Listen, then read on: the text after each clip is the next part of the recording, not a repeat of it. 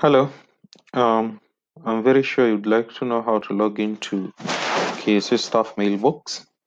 Uh, to be able to log into KSA Staff Mailbox, you'll need to go to www.stackmail.com and uh, uh, this will take you to a login screen that uh, basically looks like this, where you'll be required to enter your username and the password.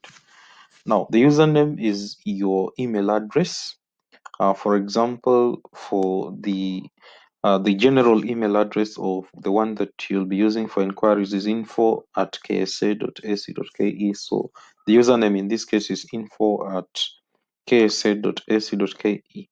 And then the password should be your phone number and you add KSA. So for example, the password can be 07 blah blah blah blah KSA.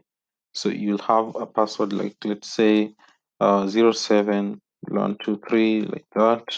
Then uh, you add KSA at the end like that. So that should be your your password.